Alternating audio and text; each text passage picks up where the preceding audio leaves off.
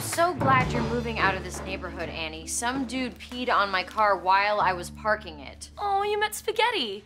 Yeah, I won't miss him. Speaking of missing people, how did Jeff dodge this bullet? Of friendship. He said he was under the weather. Shaw.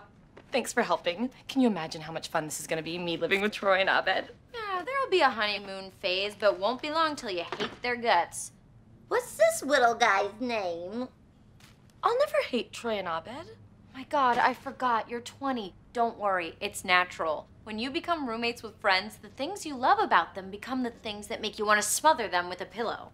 But that's unacceptable to me. Then I'm lying? Forgetting something? Yeah. Yes. Hit it! Like I'm gonna get sick of this. What, what, what, what? We're here to help you move. On the dance floor. Nice. Tweet it. Tweeting it. What are you tweeting? Everything. We're live tweeting Annie's move on Twitter.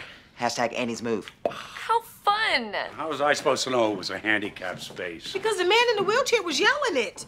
Oh, yeah. And he doesn't have an agenda. Hold it. Where's Winger? Sick. Shaw. Yeah, I'm calling him. Hello? So you're sick, huh? Uh, that's what they tell me.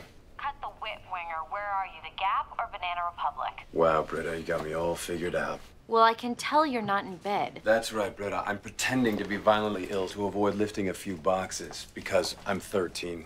And who's your primary care physician, Mr. Winger? Uh, Dr. Schroeder, S-C-H.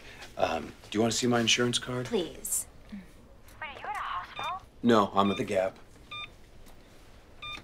You hear that? That's not a heart monitor. It's a machine telling me I'm low on khakis. Dr. Tarpinian to Radiology, Dr. Tarpinian. Crap, I, I'm sorry, I just assumed. Whatever. I don't blame you. I've lied before. It's probably karma that I'm sick. But believe me, if you had what I have, you'd rather be moving boxes. Okay, feel better. Sorry. Yeah, I'll see you guys on Monday.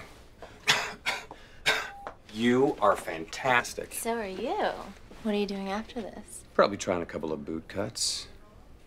But after that, maybe like a blazer. Give me some love.